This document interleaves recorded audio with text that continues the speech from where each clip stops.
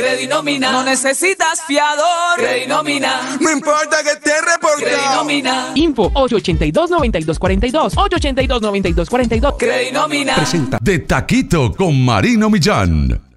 ¿Qué tal amigos? Bueno, parecería que el Deportes Tolima se la tiene definitivamente montada todo lo que sea verde, ¿no? Llámese Nacional o llámese Deportivo Cali. Claro que lo del Deportivo Cali con más antigüedad, porque recordemos que acá en el Pascual Guerrero, el Tolima le dio la vuelta olímpica, en aquel entonces dirigido por Luis Augusto García. Y en esta oportunidad, pues en, en apenas 19 días, lo apeó de la Copa Suramericana. Y ahora prácticamente lo tiene liquidado en lo que son estos cuartos de final de la Liga Colombiana. 3 por 0, victoria contundente en el estadio de Ibagué, aunque quedan 90 minutos por jugarse, ¿no? Que apenas es el partido de ida.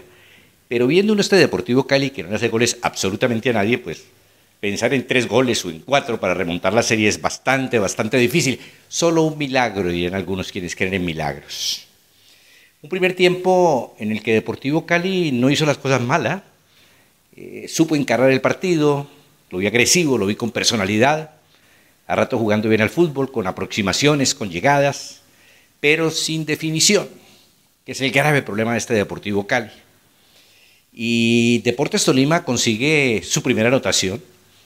El partido lo pone un gol por cero, exactamente a los 38 a través de Estupiñán, en una jugada que llega desde zona derecha, servicio al segundo sector, al segundo palo, y ahí llega Estupiñán para enviarla prácticamente a ras de gramilla al fondo de la red. Se pone en desventaja el Deportivo Cali.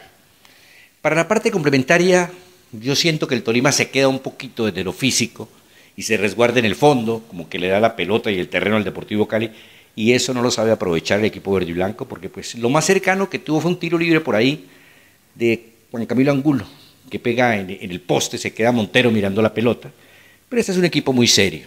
En días pasados y antes de comenzar todo esto les dije a mis compañeros del Bar Caracol, donde participo los días lunes, que el equipo que más me agradaba era el Tolima por, por lo que le había visto, ¿no?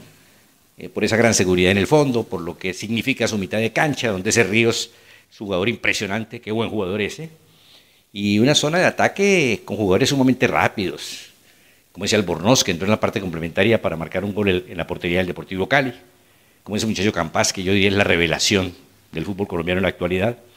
Y bueno, un Deportivo que no aprovechó. Ese momento en que se queda un tanto frío, baja la guardia el cuadro tolimense, y nada de nada, pues, nada de nada. Más bien en dos minutos eh, marca goles el cuadro pijado. Y pone la pizarra 3 por 0, que es un resultado lapidario, terrible para el Deportivo Cali. Y esto ya es traumático para el equipo verde y frente al equipo eh, tolimense, ¿no? Eh, falta un juego, como ya lo decía ahora. Pero no, la desazón, el malestar es único.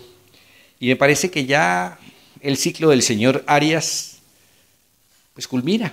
A mí sí me parece que ya a la Junta Directiva le toca tomar decisiones. Y eso que este era un equipo que venía de un vuelo larguísimo, de, Brasil, venía de perder con este Bragantino y toda esa cuestión. Pero pues eh, con eso pasa lo mismo de la altura.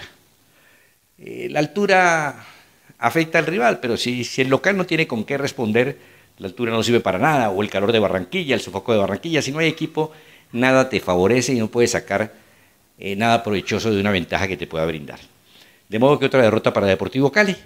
Muy rápido, muy rápido pues, porque imagínense, de la Sudamericana salió de un torneo internacional sin viajar al exterior.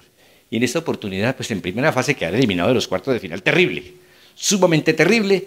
Y este Deportivo Cali ya no es de palabras, sino de hechos, que requiere de un revulsivo de pies a cabeza. Por lo menos así lo veo yo.